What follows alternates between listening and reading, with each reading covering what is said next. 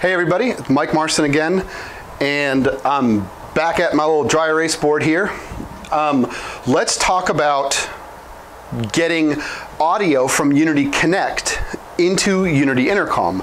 I've mentioned in previous videos that Unity Connect is really, really powerful in the sense that you can have your Unity Intercom life all set up in a stable location in your office or wherever, your home, you're, you're in, a, in a rack room, um, at the TV station potentially, and all the port forwarding and everything's done, internet's great, and then you can send another Mac into the field to get remote audio from whatever events going on. Um, it could even be another, uh, you know, it could be a sister TV station, something like that. Send Unity Connect out running on that particular laptop or Mac Mini, this is a little Mac Mini picture, running Unity Connect. So then what you do is, so we have our Unity Intercom computer here. We're also going to install Connect on the same computer. Then we have, let's say we've got some local audio. Maybe I've got um, 12 channels of Dante coming in from some event that I'm attending.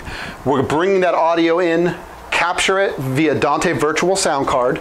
Now, if it wasn't Dante and it was just regular audio feeds coming in off a soundboard, I would have a USB or Thunderbolt I.O. device that I would attach to via USB or Thunderbolt.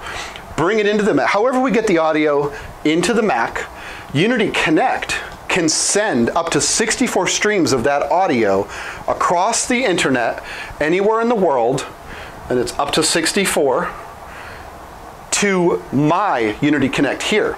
So we have local event audio going into another Mac computer via Unity Connect. We send that audio to this Connect at our office location. Now, Unity Connect doesn't directly write to Unity Intercom. So what we do is we need an aggregate audio device, which is a software virtual audio device. The one we like to use is Loopback. This is going to get messy.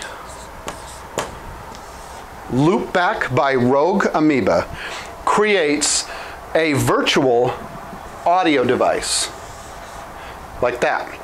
That virtual audio device could be like a 32 by, by 32 or a 64 by 64. And we take Unity Connect and we output Connect to Loopback. And then we take Unity Intercom and we input from Loopback. So Connect is writing to Loopback and then Unity Intercom is, is taking from Loopback, thus marrying the two. I realize this looks awful, but essentially all this is is audio coming from the event or, or from whatever, being sent over via Connect to another Connect, writing to Loopback.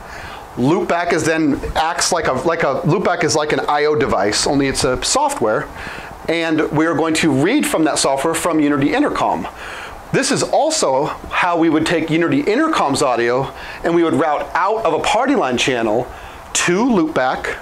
Connect would read from loopback and Connect can also send back to another Connect. So don't look at the mess, but this is not bad at all. This, this is kind of how you do that. I hope this was helpful. Thanks.